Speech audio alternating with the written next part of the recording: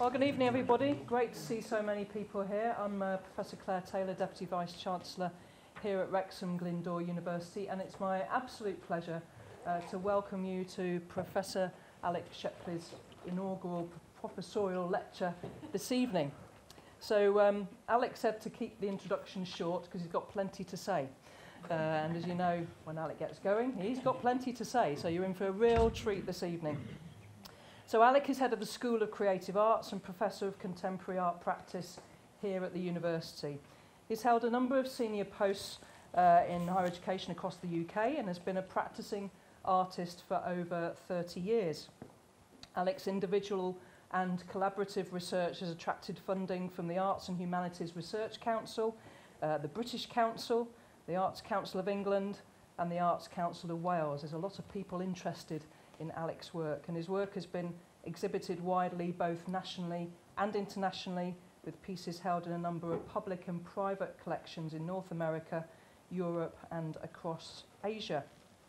Through extending the language of painting and sculpture, his works have become more a means of encounter rather than an end in themselves, providing a document of art as social engagement.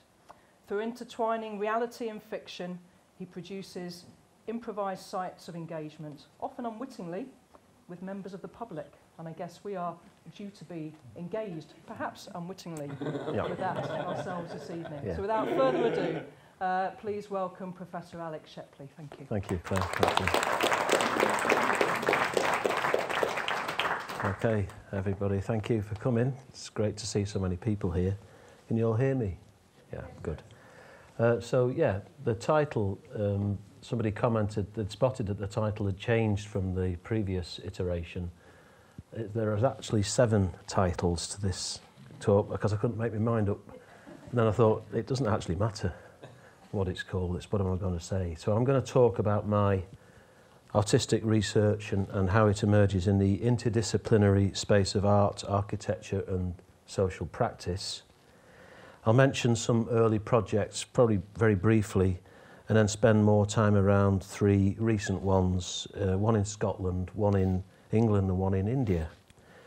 I'll look at the role of improvisation, how a peripatetic and arguably post-organisational artistic cultural tendency attempts to bring art and art practice outside traditional institutional settings and through questioning things like the frame, how it embeds within the contours of contemporary urban landscapes. In other words, my engagement with the paradox that non-art is more art than art art. And non-art was invented by uh, Allan Kaprow, or he's claiming he invented it. It's whatever has not been accepted as art, but has caught an artist's attention with that possibility in mind. So it remains a possibility that it might become art. But to start with, here's an early piece from around 30 years ago, or 30 odd years ago, when I first started out on my artistic journey. It's one of a series of assemblages, and in fact, the only surviving one because they were made on 35 mil slides and I subsequently lost them. It was made in situ in a row of derelict houses next door to the art school where I was studying just outside Manchester. And through a painstaking process of working and reworking, this domestic debris that I found in the building, which is an old kitchen drawer and a galvanized handle, um, working and reworking the material, I learnt on this journey how to draw uh, and about painting without paint, if you can imagine such a thing. I learnt about context, uh, represented out by the image on the left, which is the Nativity by Piero, skills uh, and interpretation. So how you take um, a context, a set of skills and reinterpret it in your own way. I also learnt about occupying void spaces, these spaces that are perhaps forgotten. Uh, Matta Clark, Gordon Matta Clark, who an, an artist from the 70s, he talked a lot about occupying void spaces, gaps, leftover spaces, places where you stop to tie your shoelaces, things that are slightly off pieced, places that are just interruptions in daily movements and habits. And the more I've thought about that, the closer affinity I've felt with that area of engagement. And the town where I lived had a lot of these uh, void spaces. The town was peppered with what I thought were inside outside spaces. So you're driving along the road with my dad in Stalybridge, thinking about why we could see people's private dwellings exposed as if they'd been severed by an unseen hand. And to my young self, they seemed strangely paradoxical uh, spaces to play.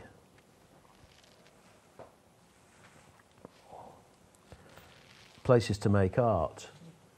And this image here is of Daniel Buren, a French artist who I've always been very fond of. He said in a, an essay in the, I think about 1971 that the work of art in its place of making is in its uh, place, its own closest reality. Um, a closest reality from which it will continue to distance itself because he believed that um, although its place of making was the studio, um, once it's left the studio, it's prone to manipulation and additions, and it accrues all kinds of value and meaning that the artist may or may not have intended as it sets out on its journey from its place of making. And this seemed to fit with my on site activity quite nicely. And this is a piece of work by Buren from 73 uh, is called Within and Beyond the Frame, and it's a picture from the Leo Castelli Gallery. It's a 190 foot long row of 19 grey and white striped canvases, and it basically uh, punctures out the gallery space into the street beyond. It, it points to this conundrum of the frame, and to most of us, the frame is the the big gold thing that's around a piece of work, or if it's a sculpture, it's a, a plinth. Either way, it's a marker of limits, it's an impermeable boundary around something. Whereas Buren was doing something quite crazy and sending it straight out across the street, uh, questioning all kinds of things about permanence, placement, oddity.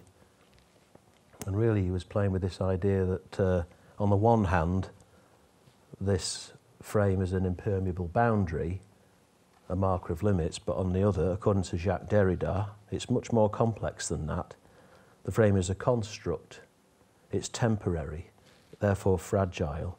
He suggested that it forms another piece of work. A parergon was the word he used, a bywork. It's a place between that which you deem to be the art and that which you deem to be not art, and there's a space in between which is slightly um, ambiguous. And it's that bit that I'm interested in. So, just a kind of model there, very, you can see a window into my thinking of simplifying things. You've got your first frame and your second frame. The first frame is this one around the piece of work, second one's the institutional frame. So you can already see that I'm beginning to think about art as a situation as opposed to an object, especially perhaps when you look at this slide from a book about literature actually by Abrams about it's called The Mirror and the Lamp and it talks about the artwork being in a situation between universe, artist and audience as opposed to something that's fixed in time and space permanently and forever unchanging. So According to Joseph Kosuth, another artist, American artist, the first frame is the physical one around the work, and the second one is the conceptual one, an institutional one. For me, it fluctuates or vibrates between the two. So to me, it seemed at best provisional, and that suited me, so I set about making situated and provisional artworks, often ones that, as Claire said, implicates the onlooker and my own presence as a component part. So, what does all that mean in material expression? I've got a few examples. I'm just going to whiz through these. This is one from 1985. I studied in America as part of my degree, and I learned how to make neon glass sculpture. And I made this kind of step up, step down, walk around uh, thing.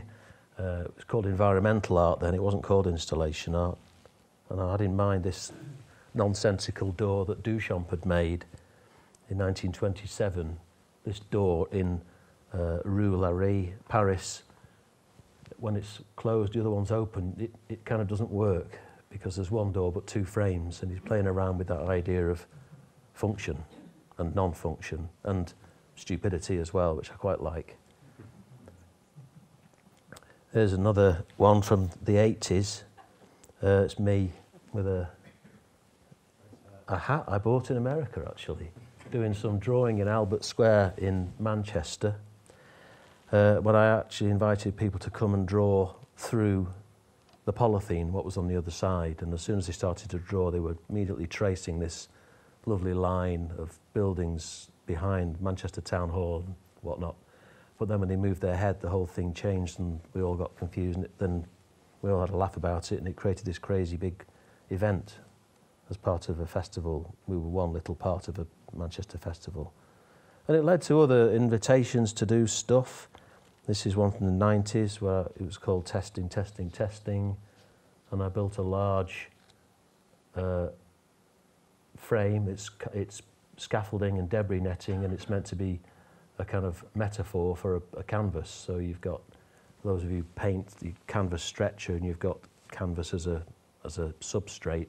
It was a kind of 3D painting, and I lit it up as a lantern with a big picture of a bird that was preening itself so it became a kind of bird cage. But it was only over a four week period that I arrived at this outcome. There was a lot of messing about with the scaffolding, rebuilding, taking it apart, and eventually it ended up at the this big cube.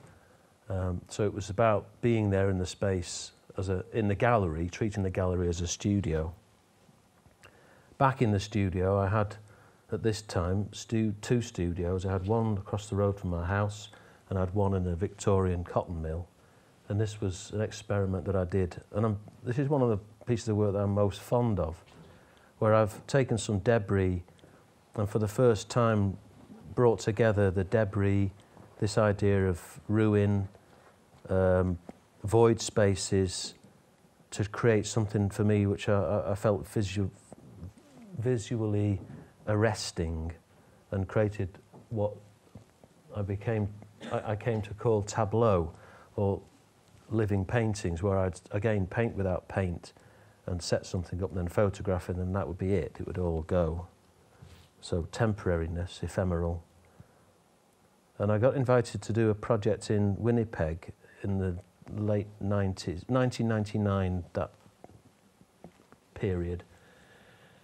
And I rebuilt that studio in the gallery in Winnipeg and then lit it with neon. There was this fantastic neon factory in Winnipeg and I became good friends with Jeff, the chap that uh, ran it and, you know, he could see I'd got no money, but he liked the idea of doing it, so we built this thing together.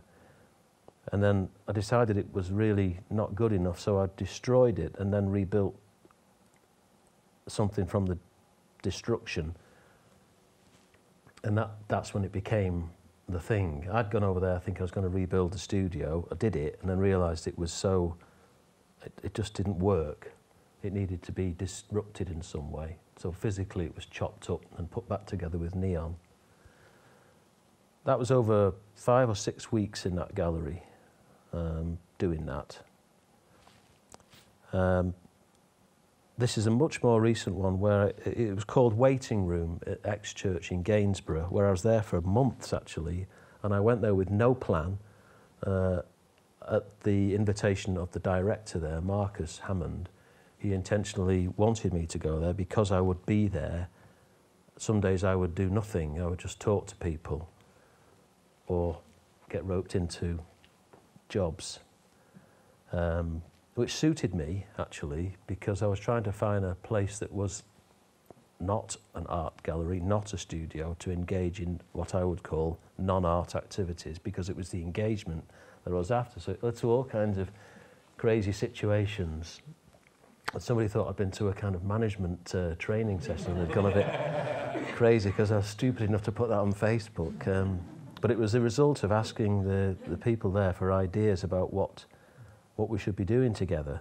And the result was um, lots and lots of things actually, lots of events if you like. It was almost like a kind of series of little micro engagements I would call them, where I would involve myself and others in making games, painting, drawing. I bought a shed, put it on wheels so we could wheel it around. Did workshops about uh, writing stories and doing postcards. Uh, this was a postcard one where I asked people to send a postcard describing or drawing where they were at that moment and then posting it to me. And we made a display of it in the in the in the space. And it was quite um, I don't know it was, it was very very very well I can't think of the word. It was fantastic I was very touched by the the number of people who sent postcards because we did it via social media and in the meantime we were busily building stuff as well sheds that became skips um, made out of things that people had donated. A local company donated a big pallet full of doors, and we thought, what can we do with this? Well, how can we make art with nothing? Um, and how can we put that art in people's way and say deal with it? So me and this gang of followers, we, we did just that. Uh, it was a good time. And very, very recently, I've involved myself in the Llangollen Fringe Festival, another collaboration with, uh, with them, particularly Paul Keddy, who helped me with the electrical stuff and produced this kind of lantern building. Hopefully this works. But basically it's the old print works in Berwyn and we lit it up like a magic lantern and the LED lights just pulsated and changed colour through the spectrum for um, several days. And it was it was um, again making work with people who may be artists, may not be artists, um, and producing something well, that we thought, well, I thought was quite spectacular because when it actually happened, the, the light up ceremony, if you like, was at night, obviously. Um, and a situation like this actually where we had a microphone and we had the band stand and this big crowd turned up and then we had a switch on and I, hadn't, I didn't know if it was going to switch on. And as I was apologising for it maybe not switching on it all came on behind me. And so that was quite a good moment. So again working in a kind of non-gallery setting um, and I just want to make a mention to this contradictory domain between the object and the subject between people and art objects it's that between space that I think is the space with most energy. And um, I wanted to reference our very own Sue Liggett, who's the reader in fine art here at uh, University. I'm sorry for embarrassing you, but she talks about psychological resonance as a metaphoric vibration resulting from an inner dialogue between subject and object. And that really struck a a light on my, in my head. As an artist and teacher, I concern myself with learning how to better articulate this psychological resonance. That's the thing that we're trying to open up in the mind of the student, this contradictory space in which all art must find itself and how we accommodate that in our art schools. And it's led me to do work on the idea of art schools as um, what, what's called heterotopia, a kind of different kind of space. Creativity is the result of a dialogue between self and other, subject and object. And that meaning or reality does not reside in the subject or the object, but the dynamic flow between them. And it's a shame Maria's not here because I think she would have liked this double, double triple helix um, between practice, teaching, and research. That sets up a kind of dynamic in the studio, whether it be theatre, fine art, dance, music, illustration, applied arts, whatever. But it's all about this dynamic between the production, the situation, and audience. And I think for me, the audience at the very first outset is, is me, and that might be the same for a lot of makers, a lot of practitioners, that the, the audience at the first port of call is probably you, because you're the one having that dynamic conversation with, with the work that you make. But it's interesting that that all added up to this strange, absurd practice of sweeping, and it came from the above set of concerns, an everyday routine within the studio, which was outside of practice, and yet the more I thought about it, the more apparent it became as, a, as being a more important to me as a kind of left field position, I standing beside myself, knowing that that's not quite possible. But once it got into my head, I had to act on it. I couldn't just leave it alone.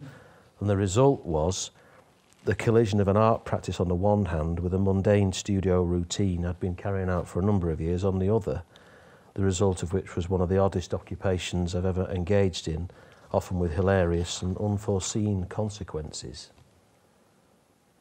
I've got a whole range of photographs of me doing this, but these are just four of them. And the two projects I mentioned earlier in that very contradictory domain are these two. One on the left is St. Peter's Seminary in Cardross on the west coast of Scotland, and the one on the right is Connaught Place in Delhi. And they're both iterations of what I'm calling an everyday practice from the summer and autumn of 2014. The one on the left eventually became known as I Am from Leonia, and the one on the right became known as A Place of Impossibility. And they're quite different locations geographically, and yet in many ways quite similar. Both are architectural sites Sites originally formed out of an optimistic vision of the future, but now in a state of neglect. These spaces offered potential escape routes where I could experiment, and so in the spring of 2014, I applied for and received a small travel grant to test out my ideas. So, Project One, I am from Leonia, is at St. Peter's Seminary in Kilmahew, Cardross. I just happened upon it one day when I was out for a walk with my sister, actually, and uh, I thought, why haven't you told me about this place? You know, we never asked. So hopefully this will play. I am from Leonia. The city of Leonia refashions itself every day. Every morning, the people wake between fresh sheets, wash with just unwrapped cakes of soap. Wear brand new clothing. Take from the latest model refrigerator still unopened tins. Listening to the last minute jingles from the most up to date radio. On the sidewalks, encased in spotless plastic bags, the remains of yesterday's Leonia await the garbage truck not only squeezed tubes of toothpaste, blown out light bulbs, newspapers, containers, wrappings, but also boilers, encyclopedias, pianos, porcelain dinner services. It is not so much by the things that There's each a lot to day get are through, so I'm not going to play the whole film. sold, I'll just leave it playing in the background for a minute or two. But essentially, I'm acting and thinking through the persistence of art as a system that uncovers spaces of potential through dispersed and uncertain practices. I'm trying to highlight the creative potential of doubt, of the unnoticed, the everyday, the fragment, the uncertain, the ambivalent. I say system, but it's probably more of a routine like a maintenance program, one inhabiting non-spaces such as ruins or cracks, gaps and openings in the vacant or abandoned buildings. The routine somehow conjures a contrast between the theatrical on the one hand and the banal and the everyday on the other, and a kind of curious, out of the ordinary ordinariness, if there is such a thing. And according to one commentator, a choreography of a kind of bathos, a derivistic sweeping or cleaning takes place. Siegfried Kracauer wrote about these seemingly purposeless and empty moments which infiltrate everyday life, such as that of the pedestrian, the commuter, or the person waiting in the queue. In his final and unfinished book, he referred to the terra incognita, where objectives and modes of being which still lack a name and hence overlooked or misjudged can be rehabilitated. Sweeping felt appropriate as an everyday practice and sweeping around the ruins of St. Peter's had a certain logic to it. As if I was curating my own dissolution as an artist into a practitioner of the everyday. Contemplating the notion of indefiniteness as a practice, speculating on the insistence of a procedure that uncovers the spaces of potential allowed a feral voice within me a chance to speak. And this is from an essay that Dean Hughes wrote. As an artwork, I Am from Leonia is filled with futility. There seems little tangible attempt to actually cleanse the space in any demonstrable sense. This feeling is enhanced when in one sequence the figure's attention is centered upon sweeping along a shadow cast by the ruin's distinctive vaulted ceilings. What could be filled with more purposeful purposelessness than following a contour whose only certainty is that it will have shifted as soon as one has completed the activity following along its path. This unassailable quality is further testified to when the figure diligently sweeps along the edge of that would have been a balcony, seemingly oblivious to the genuine detritus which constitutes the floor below. Neither is the sweeping piecemeal in the way that it might be conducted if one was passing time within monotonous employment. The sweeping is carried through with diligence and attentiveness to the job at hand that seems at odds with the apparent situation at hand. The protagonist within the video is intent on moving and remodeling matter rather than making a new construction or order. The video presents itself as a tension. What is the nature of this sweeping? What is its purpose?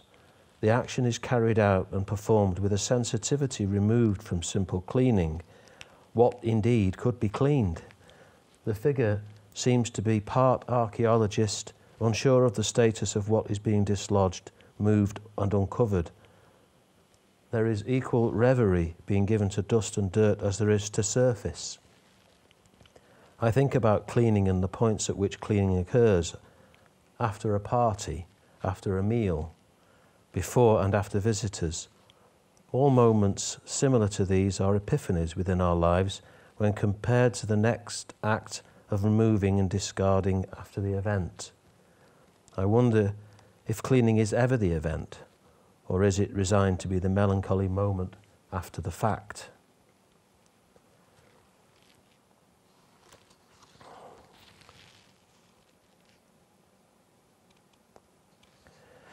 So, this next project is called The Cabinet of Ambivalence.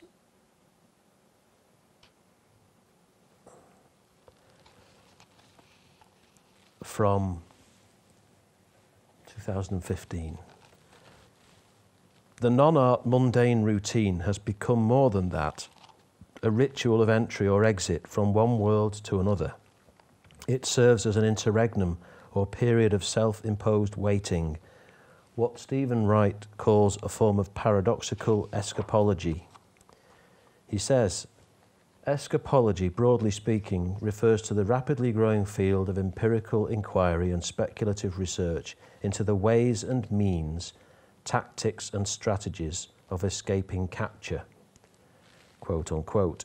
He goes on to describe how this relies on operative or performative capture, whereby things are put to work, made to perform, and how escapology is the theory and practice of suspending the operations of all these mechanisms of capture, and yet escapology is a paradoxical undertaking and an often ambivalent science. For obvious reasons, escape itself can neither assert itself for what it is nor perform itself as escape. It must always appear impossible. Renegotiating the relationship, boundaries, meaning, form, material, and testing out whether a work could perhaps be not of art, as Duchamp once asked in 1913, locates practice specifically in the quotidian, in the repetitive tasks I do on a daily basis, such as walking, cleaning, cooking, and waiting. Kicking fragments down the path, sweeping particles, dust, and contouring cracks, joins, and crumbling architectural features all provide the marginal spaces I need for dispersals, ones that do not stand for anything certain and are in a state of intercession. And this is key. Through enacting what have become uncertain practices and made up ad hoc, on the spot, nomadic routines and games, I'm attempting a kind of spontaneous philosophy to live in a drawing, as Gramsci once put it. Meandering and impromptu arts practice is a means of resisting the market. It can surface social issues and serve as a catalyst for change. Most important to me, though, is that it foregrounds the notion that art is most alive in its own space of making. It's a moment, it's a realization, it's a sensation, an understanding. It may be embodied by an artifact, but that is just the catalyst, and through my work, I aim to demonstrate how the use of both the improvised, the fragmentary, and the impoverished signifies a continued turn towards art as exchange over commodity. The occupation of ruin as a positive trope of reflexivity has led to what I would call urban contouring procedures to uncover spaces of potential, make comment on our condition, and look for new directions I'm drawn to artists whose work critiques institutions that define art as art and that have traditionally distributed it, and hope to demonstrate how this process might allow new voices to emerge through dispersed practice.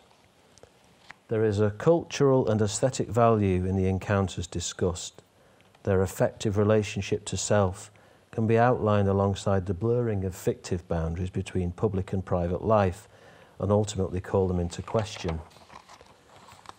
Ephemerality, certain media choices, and the presence of the artist are artistic strategies used by artists such as Marcel Duchamp, Allan Kaprow, Fluxus, Marcel Broodthaers. What happened then? Uh, these artists, like Francis Alÿs, Stanley Brouwn, Mierle Laderman Ukeles, and many others. These artists engage, perform, discuss, perceive, and realize works that occupy this parergon, this between space, the boundaries between art and life, and even call into question the place and purpose of art. Artists incorporate in their own labour and that of others as the artwork in relation to traditional forms of object creation for market exchange intrigue me. Why? Because they foreground the complexity, art as process, not just object. And freeing myself from the perceived confines of my own conventions remains as important to me now as it ever was. Maybe even more. And if you want to go further and disrupt the understanding of what art is, you need to alter how it gets to audience. And this brings me on to this quote by Marcel Broodthaers, who lived in a jar. The definition of artistic activity occurs first of all in the field of distribution. So, what he's saying is that art seems to inhabit a spatio-temporal zone as opposed to a fixed or constant point in time and space. And this was a result of the tendency to resist or even escape the market's inclination to commodify culture. And this shift in the framing of art has implications for the viewer, since the shift from the material, first frame, remember, to the institutional, second frame, would in some way implicate the viewer within the work, knowingly or unknowingly, even as co creator. The use of the artwork surrounding as part of the work situates the viewer within the second frame. So part project three is this one called Insert 2014, and it's a huge project in Delhi, um, 2013 and 2014. In the autumn of 2013, there was an open call for speculations from artists, curators, writers, architects, cultural practitioners, and activists for the reimagination of spaces and cultural infrastructure in Delhi. Raqs Media Collective, the Delhi based artistic and curatorial collective, invited proposals for the imaginative rethinking of unused public spaces and cultural infrastructure in Delhi. The call was a provocation for artists and cultural practitioners to rediscover the city's cultural and artistic potential through imaginative transformations.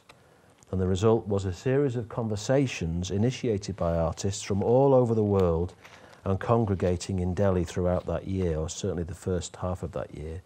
My project, A Place of Impossibility, was among the 25 submissions invited to show in the exhibition new models for common ground at the Matighar, or Mud House, um, which also was quite a fortunate and appealing place to show work, at the Indira Gandhi National Centre for the Arts in February 2014 as part of this Insert 2014. Raqs Media Collective selected Delhi as a site for Insert both for conceptual and logistical reasons. Delhi is where the collective was founded in 1992 and has been their base ever since. But for the chairman of the Inlaks Shivdasani Foundation, Azad Shivdasani, the sponsor of the event, his main concern was that the event should be socially relevant.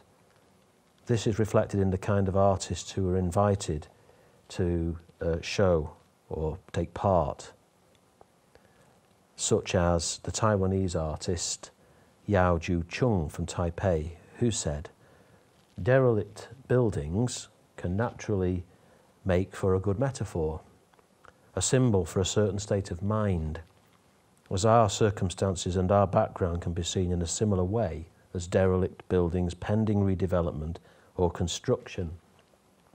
Derelict buildings provide a kind of creative energy that can be harnessed by artists, and it threw me right back to when I was a teenager in those bomb sites making stuff.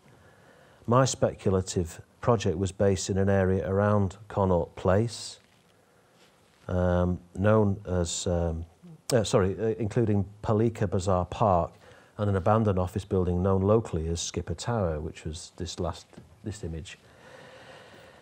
Street encounters, walks or happenings were proposed as a way for the artist to directly experience the selected sites, encounter those people who lived and worked there and document the process using photography and video the Skipper Tower has come to symbolise for many the image of modernity in the form of a ruin from the future and was seen by the project curators Raqs as a definitely one that could fuel micro engagements. And the district around Connaught Place is one of the most popular public places of Delhi and attracts people from all walks of life, from homeless vagabonds to office workers, from college students to compulsive loners and many others besides.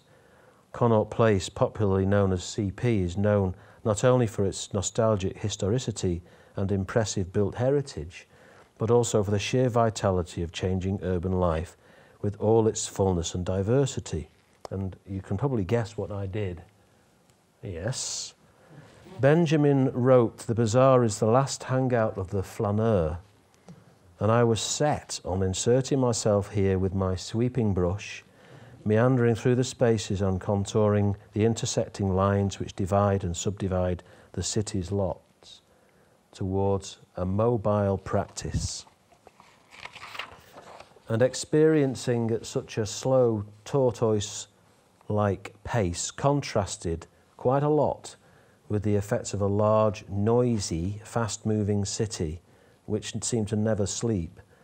The popular park busy with people from all walks of life serve to foreground the large edifice of the modern office block void of people and produce many ad hoc micro engagements with local people, visitors, and groups of tourists milling around in the mix.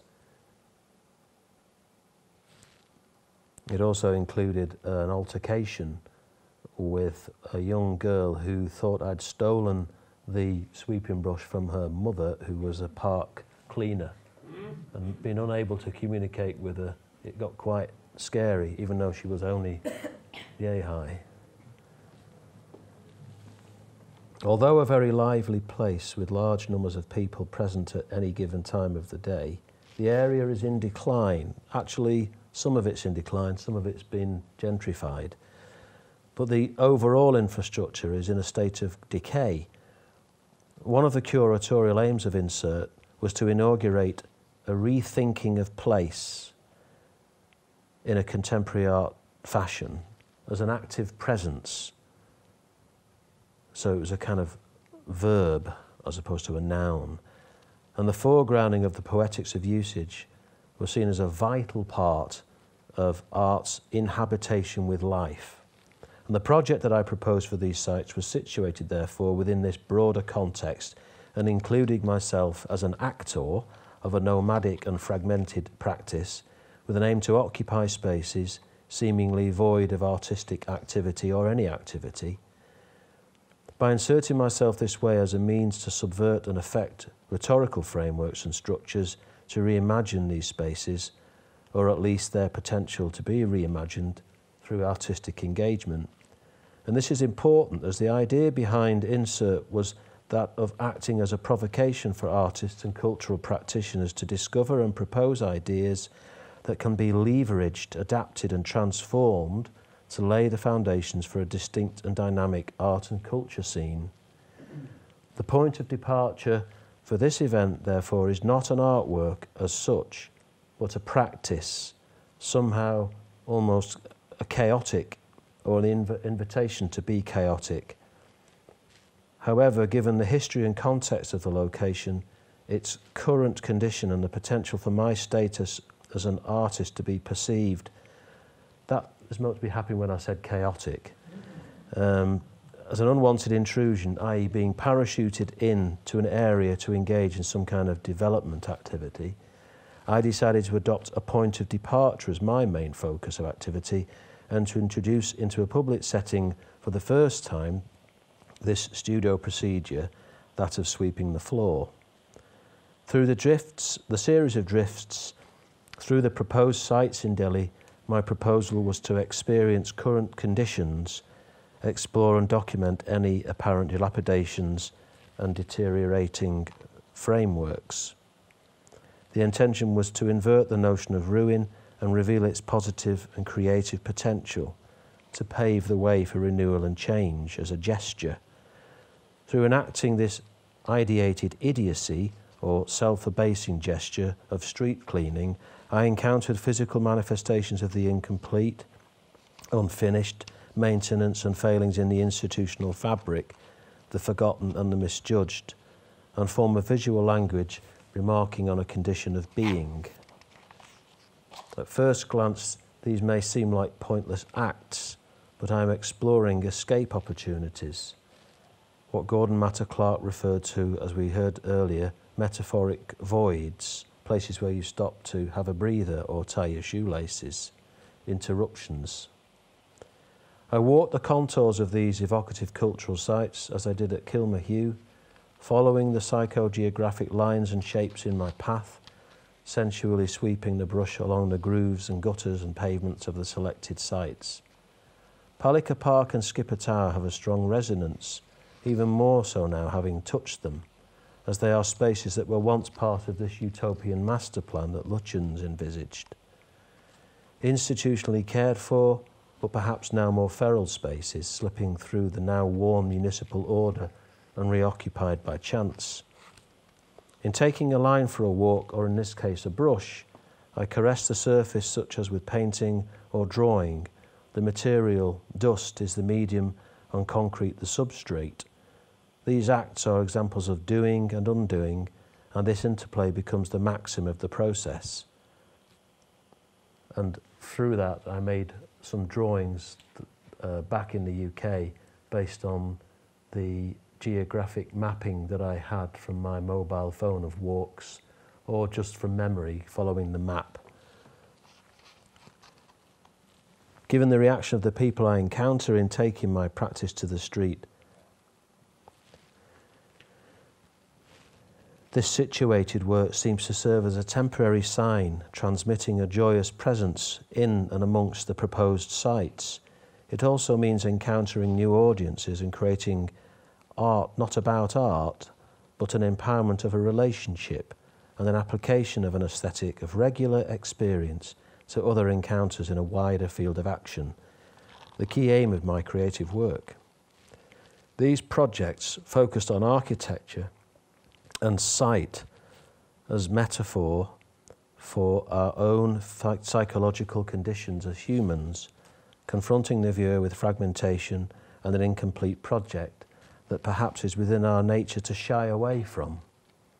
In this new work, however, an attempt was made to put into reverse the negative stereotypes of neglect, to invert it, and create the potential for a more positive metaphor by cleaning, where art has become more like a system or an operation. The viewer is immersed in a set of visual relationships that subconsciously he or she is aware of to create allegories, new meanings, and to foreground the creative potential of the fragment in a process of renewal and redefinition. The visual narrative conjures the street cleaners who are welcomed like angels to the city and who engage in their task of removing the residue of yesterday's existence in a respectfully silent ritual that inspires devotion, and that's from Invisible Cities by Italo Calvino. This is perhaps because once things have been discarded, nobody really wants to have to think about them anymore. My project, in my project, the onlooker is invited to reflect on the ultimate outcomes of such accumulations of debris as an outcome of daily progress, and thus question a wider logic around production and unbridled modernity. This question about what to do with our worldly possessions once we no longer have a use for them is as poignant today as it ever was. For example, my enactments pause, visualize, and reflect on the status of the fragment within a potentially restored, embodied relationship with the world. Through the unfinished, I am disclosing ambivalence, what is missing or not being seen, a disappearance, if you like. And this is not necessarily a very easy feeling. I feel as though I'm occupying the role of a wandering performer, but unseen by any public. The American academic Christine Ross wrote in her wonderful book, The Aesthetics of Disengagement, through ambivalence, indifference is deployed as a condition of possibility. I'll say that again. Through ambivalence, indifference is deployed as a condition of possibility. In other words, possibility is revealed by disclosure of ambivalence, what is missing or not being seen. And art is more revealing in terms of a lack, I think, what is not there as much as what is. After all, the artist reveals gaps and doesn't fill them in. And the value of art today, its condition of possibility, lies in that very disclosure. That's according to Christine Ross. Discursive spaces linked and alert to architecture and site as metaphors for our psychological states all refer to a place of our making and unmaking, both real and imagined, through positioning myself between creativity and fall, fiction and reality, an attempt is made to disclose the disproportion between the repetitious labour and the magnitude of the task on the one hand, and the absurdity of the implements to hand and the meaninglessness other than its own taking place on the other. And in the words of Mierle Laderman Ukeles, the flushing up to consciousness of everyday practice, that of routine maintenance, flagging the void spaces to approach, address, and attend. And these are some images from the um, 1970s, uh, early 70s, where uh, this female artist, is engaged in her maintenance project. As an important value to the excitement of avant garde and unbridled industrial development. She promoted maintenance.